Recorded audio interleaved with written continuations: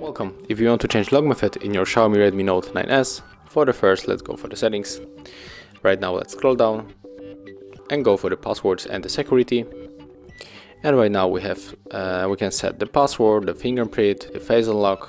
So I'm going for the password and I will select the pattern.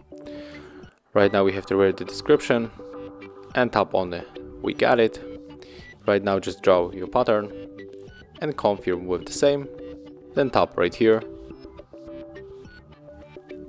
I don't want to add the fingerprint and right now when we are going to lock our device let's try it.